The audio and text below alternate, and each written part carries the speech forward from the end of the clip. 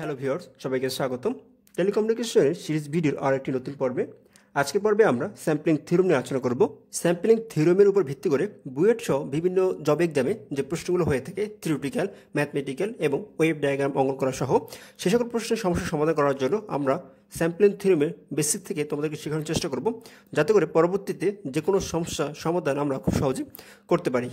আজকের পর্বে আমরা যেসব বিষয় নিয়ে আলোচনা করব, প্রথমত স্যাম্পলিং থিওরেম দ্বিতীয় রয়েছে স্যাম্পলিং থিওরেমের ব্যাখ্যা ওয়েব ডায়াগ্রাম সহ স্যাম্পলিং থিওরেমের প্রকারভেদ স্যাম্পলিং থিওরেমের উদাহরণ সহ ব্যাখ্যা ও কৌশল।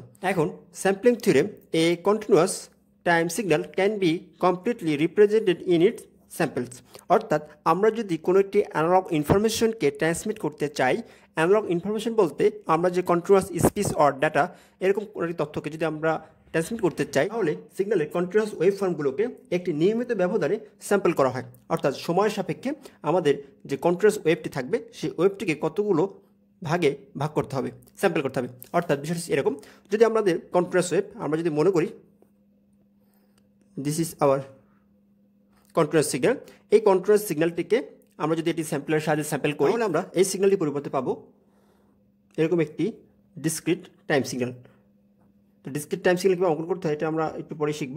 আপাতত আমরা একটু দেখে রাখি।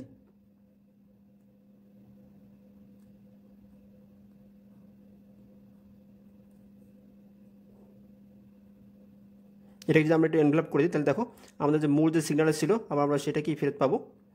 তো মূলত আমাদের ডিসক্রিট টাইম সিগন্যাল তো আমরা প্রথম দিয়েছিলাম কন্ট্রাস্ট টাইম অ্যানালগ সিগন্যাল স্যাম্পলের সাহায্যে এই সিগন্যালটিকে আমরা কী করে দিচ্ছি ডিসক্রিট করে দিচ্ছি মানে ক্ষুদ্র ক্ষুদ্র অংশে ভাগ করে আমাদের মূল যে সিগন্যাল ছিল তাকে দেখো, আমরা কতগুলো ক্ষুদ্র ক্ষুদ্র ভাগে ভাগ করে দিচ্ছি এরপর যদি আমরা এই ক্ষুদ্র ক্ষুদ্র ভাগগুলোর অ্যাম্পলিচিউড যেগুলো রয়েছে আমাদের, এই যে অ্যাম্পলিচিউডগুলোকে যদি আমরা এনভেলপ করে দিই, তাহলে আমাদের মূল যে সিগন্যাল সেটি মূলত থাকতেছে। এইভাবেই আমরা মূলত একটি কন্ট্রোল সিগন্যালকে আমরা স্যাম্পলিং করে থাকি। এখন যদি আবার আমরা এই স্যাম্পলিং থেকে, অর্থাৎ আমাদের স্যাম্পলিং সিগন্যাল থেকে আমাদের রিসিভারে মূল সিগন্যাল ফেরত পেতে চাই, তখন আবার কী করতে হবে?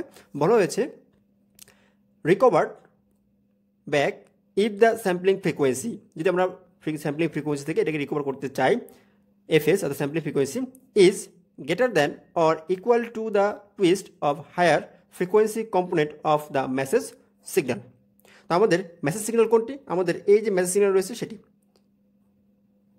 এফ এম এই হচ্ছে আমাদের কন্ট্রোল সিগন্যাল ইনপুট সিগন্যাল এটাই হচ্ছে আমাদের মূলত মেসেজ সিগন্যাল তো এই মেসেজ সিগন্যালটি আমরা করে দিয়েছি স্যাম্পল ফ্রিকোয়েন্সি এফ এস এই স্যাম্পল ফ্রিকোয়েন্সি থেকে যদি আমরা মেসেজ ফ্রিকোয়েন্সি ফেরত পেতে চাই, তবে আমাদের কী করতে হবে? স্যাম্পলিং তত্ত্ব অনুযায়ী কোনো অ্যানালগ সিগন্যালের সর্বোচ্চ frequency spectrum component F M হলে, অর্থাৎ যদি কোনো একটা sampling frequency component F M হয়, তাহলে তাকে কমপক্ষে টু এফ এম বা টয়েস এফ এম সুষম রেটে স্যাম্পলিং করলে স্যাম্পেল হতে অ্যানালগ সিগন্যালকে ডিস্টারশন ছাড়া পুনরুৎপাদন করা যাবে।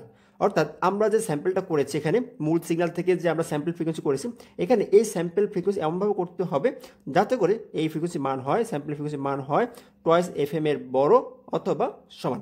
যদি আমরা এভাবে স্যাম্পল করতে পারি, তবেই আমরা আমাদের এই যে স্যাম্পলিং ফ্রিকোয়েন্সি রয়েছে, তা থেকে আমাদের মূল সিগন্যালকে আবার আমরা ফেরত পেতে পারব। স্যাম্পলিং অ্যানালগ সিগন্যাল থেকে আমাদের মূল অ্যানালগ সিগন্যালটিকে পুনরুৎপাদন করার জন্য বা রিকভার করার জন্য আমাদের যে কন্ডিশনটা রয়েছে F S greater than or equal to two F M এখানে F S equal to two F M এটি হচ্ছে আমাদের স্যাম্পলিং করার সর্বনিম্ন রেট এই সর্বনিম্ন রেটকে বলা হয়ে থাকে আবার নাইকুয়েস্টেড অর্থাৎ যদি আমরা ফ্রিকোয়েন্সিকে যদি এই টয়েস এফ এর থেকে সর্ব এর থেকে কম রেটে ফ্রিকোয়েন্সিকে স্যাম্পল করি, তাহলে আর আমরা মূল সিগন্যাল কখনোই রিকভার করতে পারব না। তো আমাদের সর্বনিম্ন যে রেট সেই রেটটিকে আমরা মূলত বলে থাকি F S two F M it's call Nyquist rate আমাদের পরীক্ষা অনেক এসে থাকে নাইকুয়েস্ট রেট কী? তখন আমাদের বলতে হবে যে স্যাম্পলিং ফ্রিকোয়েন্সিকে যে রেটে স্যাম্পল করলে এখান থেকে আমরা মূল সিগন্যালকে আনন করতে পারি বা মূল সিগন্যাল ফেরত পাই, এটি হচ্ছে মূলত নাইকুয়েস্ট রেট অর্থাৎ F S is two F M স্যাম্পলিংয়ের পদ্ধতির উপর ভিত্তি করে স্যাম্পলিংকে কতগুলো ভাগে ভাগ করা হয়ে থাকে? প্রথমত রয়েছে ideal samples natural samples flat top samples এবং আরও তিন প্রকার স্যাম্পেল ব্যবহার করা হয়ে থাকে। এক uniform periodic non uniform periodic এবং সাইক্লিক ভেরিয়েবল এই ছয় প্রকারের মূলত আমরা স্যাম্পলিং করে থাকি। এবং আমাদের দেখো sampling theorem is also known as Shannon's sampling theorem আমাদের এক্সাম আসতে পারে যে স্যানোন্স স্যাম্পলিং থিওরেম বলতে কী বোঝায়। তা আমরা যে সূত্রটি শিখে থাকি, ওই সূত্রটি মূলত আমাদের বিজ্ঞানী স্যানন দিয়েছে এই মূলত স্যানোন্স স্যাম্পলিং থিওরেম বলে থাকে। স্যাম্পলিং থিওরেমের সাহায্যে কোনো একটি অ্যানালগ সিগন্যালকে স্যাম্পল করার জন্য আমরা কয়েকটি ধাপে সম্পূর্ণ করে থাকি। প্রথমত রয়েছে আমাদের it is a process to convert continuous time signal into discrete signal তো প্রথম আমাদের কন্টিনিউয়াস সিগন্যালটিকে আমাদের কতগুলো ডিসক্রিট টাইম সিগন্যালে রূপান্তর করতে হবে? Then sufficient number of samples must be taken so that the original signal is reconstructed properly অর্থাৎ আমাদের পর্যাপ্ত পরিমাণে স্যাম্পল করতে হবে। কেননা আমাদের এই সিগন্যালটিকে পুনরায় আমাদের রিকনস্ট্রাক্টেড করতে হবে যথাযথভাবে। এজন্য আমাদের প্রপারলি ম্যাক্সিমাম আমাদের স্যাম্পলগুলো নিতে হবে। এরপরে number of samples to be taken depends on maximum signal frequency অর্থাৎ আমরা যে কতগুলো নাম্বার অফ স্যাম্পলস নিব, এটা ডিপেন্ড করতেছে ম্যাক্সিমাম ফ্রিকোয়েন্সি কম্পোনেন্ট কতগুলো রয়েছে তার উপরে। এখন আমরা এটি উদাহরণের মাধ্যমে যদি দেখি, তাহলে আমাদের পুরো বিষয়টি ক্লিয়ার হয়ে যাবে। এখন আমরা এটি উদাহরণের মাধ্যমে এই বিষয়টি দেখব। তো মনে করি এক্স অফ টি একটি অ্যানালগ সিগন্যাল যেটি সাইন ওয়েভকে ফলো করে। যা ব্যান্ড লিমিটেড এবং এর সর্বোচ্চ ফ্রিকোয়েন্সি স্পেকট্রাম কম্পোনেন্ট হচ্ছে এফ এবং নিচে রয়েছে ডেল্টা টিএস একটি ডিসক্রিট টাইম সিগন্যাল এটিকে মূলত ইউনিট ইম্পালস ট্রেন বলা হয়, কারণ এখানে প্রতিটি সিগন্যালের যে অ্যাম্পারেচার রয়েছে, তার প্রতিটি মানে ইউনিট অর্থাৎ একক। এখন এই যে আমাদের এক্স অফ অ্যানালগ সিগন্যাল এবং ডিসক্রিট টাইম সিগন্যাল এই ডিসক্রিট টাইম সিগন্যালের সাথে দেখো, আমরা যদি মাল্টিপ্লাই করে দিই, অর্থাৎ এক্স অফ টি এবং discrete time signal we are multiply আমরা যদি আমরা মাল্টিপ্লাই করি, তাহলে আমরা পাই জিটি অর্থাৎ আমাদের sample x of t into delta t s বা ডিসক্রিট টাইম অফ সিগন্যাল সময়ের সাথে আমাদের এর গুণফল। আমাদের যে কন্টিনিউয়াস সিগন্যালটি রয়েছে, এই সিগন্যালটিকে যদি আমরা স্যাম্পেল করি, তাহলে আমাদের স্যাম্পেল যে টাইম বা স্যাম্পেল টাইম টিএস এটি কীভাবে নির্ধারিত হবে? অর্থাৎ আমাদের যে একটি স্যাম্পেল থেকে আরেকটি স্যাম্পেলের যে সময়, সেটি কীভাবে নির্ধারিত হবে? সেটি হচ্ছে T S less than or equal half of F M অর্থাৎ আমাদের যে ম্যাসেজ ফ্রিকোয়েন্সি রয়েছে, তার হাফ অফ এফ এম গুণ হচ্ছে আমাদের প্রতিটি স্যাম্পেলের সময়ের ব্যবধান। অর্থাৎ একটি স্যাম্পেলের সময় থেকে পরবর্তী স্যাম্পেল সময় হবে এই সূত্র অনুযায়ী। অর্থাৎ এখানে তোমাদের একটি সূত্র শিখিয়ে রাখি। এখানে স্যাম্পলিং টাইম যত কম হবে, আমাদের স্যাম্পলিং ফ্রিকোয়েন্সি তত বৃদ্ধি পাবে। আর যদি আমাদের এখানে স্যাম্পলিং টাইম বেশি হয়, তখন আমাদের স্যাম্পলিং ফ্রিকোয়েন্সির পরিমাণ কম হবে। এটি আমরা সামনে দেখব আরও এখন যদি আমাদের প্রথম ইম্পালস সময় হয় স্যাম্পল টাইম টিএস তাহলে পরটি হবে টু টিএস এটি হবে থ্রি টিএস ফোর টিএস এভাবে প্রতিটি আমাদের ম্যাথমেটিক্যালি বাড়বে। এরপর আমরা যদি দেখো এখানে আমাদের যে x of t analogue signal এবং ডিসক্রিট সিগন্যাল এই দুটিকে মাল্টিপ্লাই করে দিই, গুণ করে দিই, তাহলে দেখো আমরা কী করব? এই রেখা বরাবর যদি গুণ করি, এভাবে আমরা, তাহলে আমরা যে সিগন্যালটি পাবো সেটি হচ্ছে এরকম। এই সিগন্যাল অনুরূপ সিগন্যাল আমরা এখানে অঙ্কন করব। তাতে আমরা এই সিগন্যালটির অ্যাম্পেচার যতটুকু হবে, ঠিক ইম্পালস সিগন্যালটিকে আমরা ততটুকু অঙ্কন করব এভাবে। এরপর রয়েছে আমাদের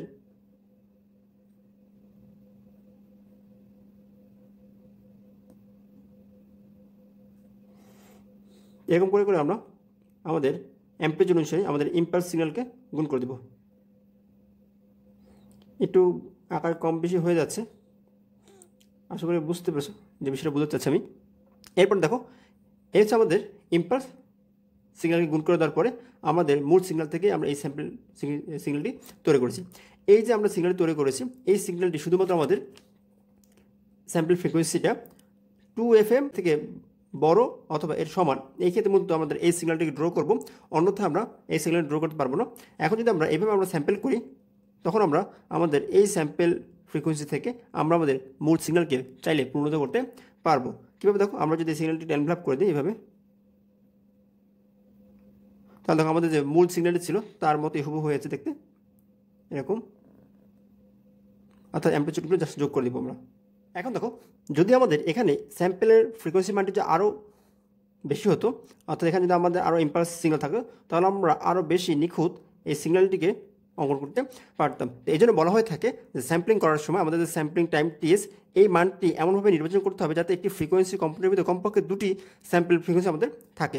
অন্যথা আমাদের মূল সিগন্যালকে উৎপাদন করার ক্ষেত্রে আমাদের অনেকগুলো ডিস্ট্রেশন যোগ যাবে, আমাদের মূল সিগন্যালটি হারিয়ে যাবে। এখন আমরা দেখব, যদি আমরা আমাদের স্যাম্পল ফ্রিকোয়েন্সি থেকে কম রেটে আমরা মেসেজ ফ্রিকোয়েন্সিকে স্যাম্পল করি, তাহলে কী ঘটবে? অর্থাৎ যদি আমাদের এরকম হয় two F M less than F S অর্থাৎ এফ এর মান আমাদের টু এফ এম এর থেকেও ছোটো, তখন আমাদের কী ঘটনা ঘটবে? এই আমাদের বরাবর আমাদের কন্টিনিউয়াস সিগন্যাল এই আমাদের ইম্পালস সিগন্যাল আমাদের বলা হয়েছে, যখন আমাদের টাইম বাড়বে, অর্থাৎ সময় যখন বাড়বে টিএস স্যাম্পলিং টাইম বাড়বে, তখন আমাদের ফ্রিকোয়েন্সি হ্রাস পাবে। এখান থেকে আমাদের ফ্রিকোয়েন্সি হ্রাস পেয়েছে এবং আমাদের সময়ের পরিমাণ থেকে বৃদ্ধি পেয়েছে। তো এখন যদি আমরা এই সিগন্যালটিকে অর্থাৎ ইম্পালস ট্রেনটিকে যদি আমরা আমাদের মূল সিগন্যালের সাথে গুণ করে দিই মাল্টিপ্লাই করে দিই, তাহলে দেখো আমরা যদি এখান থেকে একটু ড্র করি আমরা এখানে পাবো একটি ইম্পালস এখানে পাবো একটি, এখানে একটি এখানে একটি। তার মানে আমরা যদি এখন এটা ড্র করি, তাহলে দেখো আমরা অ্যাম্পিচিউড অনুসারে ড্র করি জাস্ট এটা অ্যাম্পিচিউড এখানে, এই অ্যাম্পিচিউড এখানে অ্যাম্পিচিউড এখানে, এই অ্যাম্পিচিউড এখানে। আমরা এটা যদি এখানে ড্র করে দিতে চাই, একটু এরকম হবে।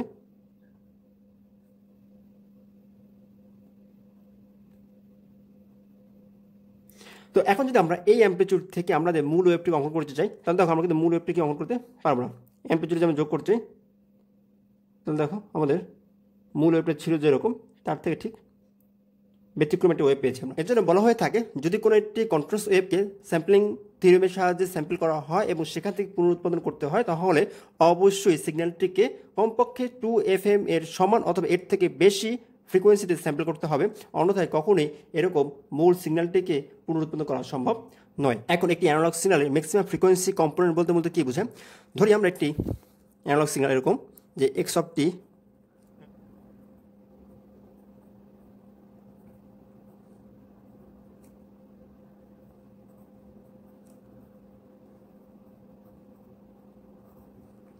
অর্থাৎ এরকম একটি আমাদের সিগন্যাল রয়েছে, যেখানে আমাদের তিনটি ফ্রিকোয়েন্সি কম্পোনেন্ট রয়েছে, যে sine twice pi T sine three pi T এবং sine four pi T twice pi টিকে আমরা লিখতে পারি?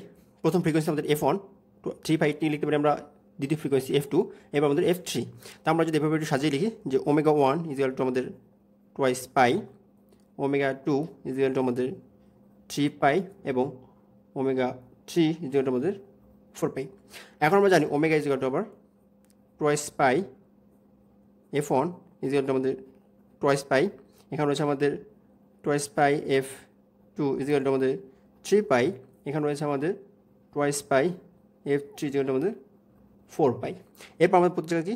পাই পাই কাটা হচ্ছে যে পাই পাই পাই পাই এরপর আমরা কী করব? টু টু যদি ভাগ করি টু টু কাটা চলে যাবে। এখানে থাকবে F one equal to one hertz এরপর রয়েছে আমাদের টু টু কাটা চলে যায় এখানে থাকবে আমাদের F two equal to three by two সমান সমান কি লিখবি ওয়ান পয়েন্ট ফাইভ হার্জ এরপর হচ্ছে আমাদের কত?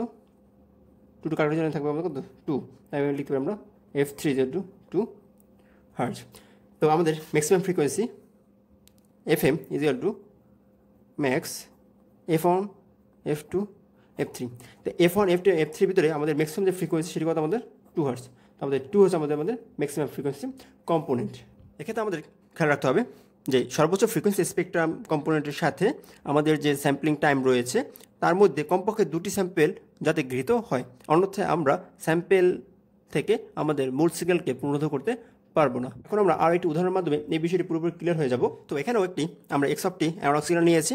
তো এক্স অফ টি এর অ্যানালগ সিগন্যালটিকে দেখো, আমরা কতগুলো ডিসক্রিট পয়েন্টে ভাগ করে দিয়েছি। তোমাদের বোঝার সুবিধার্থে এরকম ভাগ করে দিয়েছি কন্টিনিউয়াস সিগন্যাল এরপর রয়েছে আমাদের যে আমাদের ইম্পালস ট্রেন সিগন্যাল তো ইম্পালস ট্রেন সিগন্যালটি রয়েছে। এখন যদি আমরা এই কন্ট্রোল সিগন্যালের সাথে ইম্পালস ট্রেন সিগন্যালটিকে গুণ করে দিই, তাহলে দেখো আমাদের যে অ্যাম্পলিচিউড এই অ্যাম্পলিচিউড অনুসারে আমাদের এই ইম্পালস ট্রেনগুলোকে অ্যাড করে দেবো। তাহলে দেখো আমরা যে ওয়েবটি পাবো, সেটি হচ্ছে এরকম।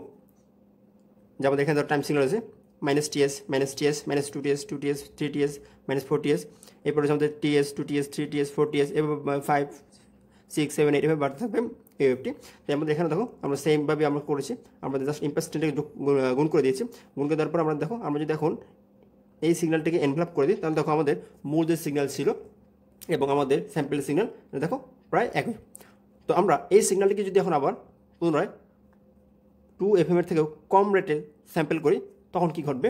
আমাদের এই হচ্ছে আমাদের টিএস প্রথম স্যাম্পেল এরপর দ্বিতীয়।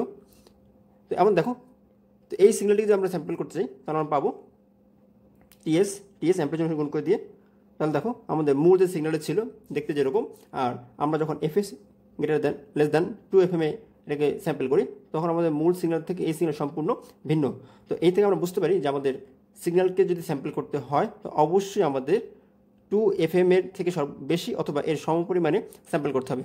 আমরা যে সূত্রে তোমাদের শিখেছিলাম, যে যদি টাইম ডিক্রিজ সময় যদি হ্রাস পায় ফ্রিকোয়েন্সি ইনক্রিজ করবে। অন্যথায় টাইম যদি ইনক্রিজ হয় ফ্রিকোয়েন্সি ডিক্রিজ করবে। তো আমাদের এই ক্ষেত্রে দেখো টাইম ইনক্রিজ করেছে, তো ফ্রিকোয়েন্সি আমাদের হ্রাস পেয়েছে এবং এখানে আমাদের টাইম ডিক্রিজ করেছে আমাদের ফ্রিকোয়েন্সি ইনক্রিজ করেছে। অর্থাৎ এখানে দেখো ফ্রিকোয়েন্সি পরিমাণ কত বেশি? অর্থাৎ অনেকগুলো ইম্পালস এখানে গুণ হয়েছে। তো এই হচ্ছে আমাদের স্যাম্পলিং ফ্রিকোয়েন্সি ভিডিওটি শেষ করার পূর্বে সকলকে অনুরোধ করব, চ্যানেলটিকে অবশ্যই সাবস্ক্রাইব করবেন এবং আমাদেরকে কমেন্ট করে ভিডিও সম্পর্কিত মতামত দিবেন। আপনাদের সহযোগিতা ছাড়া আমাদের চ্যানেলটিকে এগিয়ে নেওয়া সম্ভব নয়। তো এই হচ্ছে আমাদের আজকের পর্ব। তো আশা করি সবাই ভালো করে বুঝতে পেরেছেন। যদি বুঝতে কোথাও অসুবিধা হয়, তো অবশ্যই আমাদেরকে কমেন্ট করে জানান এবং আমাদের যে ফেসবুক পেজ রয়েছে, সেখানে আপনি আপনার ত্রিপুরি জব প্রিপারেশনের জন্য যে কোনো বিষয়ে আমাদেরকে ইনফর্ম করতে পারেন। পরবর্তী ভিডিও দেখার আমন্ত্রণ জানি আজকে আমাদের এখানে শেষ করছি। আল্লাহ হাফেজ।